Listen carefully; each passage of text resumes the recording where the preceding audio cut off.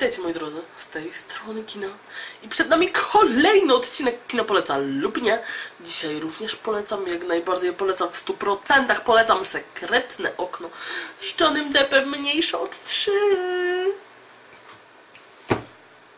Przepraszam. Ale tak, film zdecydowanie polecam. Jeżeli nie widzieliście, albo widzieliście dawno, albo macie ochotę sobie odświeżyć, a widzieliście niedawno, to wam, bardzo wam polecam. Nie no, Johnny Depp, więc już wiadomo, że film będzie zarąbisty, ale o czym jest film, jeżeli się zastanawiacie? Powiem wam, że jest ogólnie thrillerek. E, co mamy? Mamy pisarza, który mieszka sobie na za...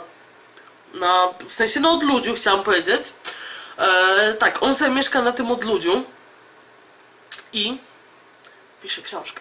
No, w końcu jest pisarzem, czyli takie kina. E, tak, aż pewnego dnia przychodzi do niego gościu w takim dość dziwnym, bym powiedziała, farmerskim kapeluszu.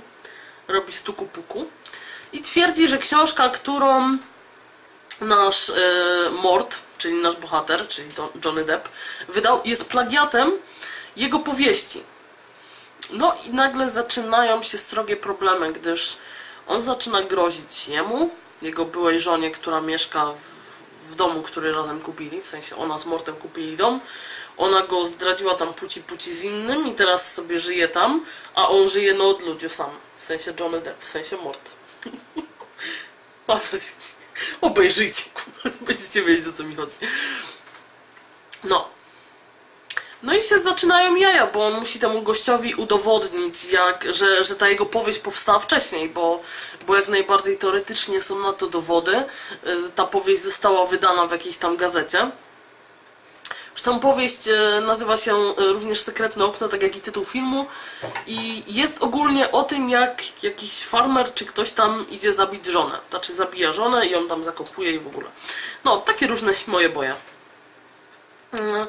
W międzyczasie oczywiście dochodzą nam kolejne osoby. Mamy prawnika, który gra naprawdę w wielu dobrych filmach. Yy, I co tam fuczaczku? Mogę nagrywać dalej? Dziękuję. Tak, więc mamy tego prawnika.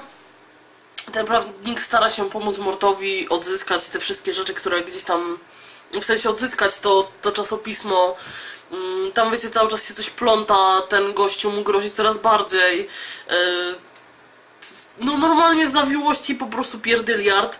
E, nagle jakieś zaczynają się morderstwa, wyrabianie morda w te morderstwa. Mm, Mord musi zrobić wszystko, żeby udowodnić, że, że on napisał tą książkę jako pierwszy, w sensie, że to nie jest plagiat.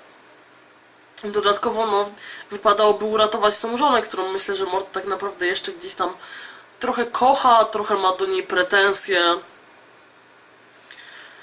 I szczerze mówiąc, ksią- znaczy film ma taki finał, że, że to jest jeden z tych nielicznych filmów, które nie są aż tak przewidywalne jak zazwyczaj. Ja, ja naprawdę wiele filmów jestem w stanie przewidzieć.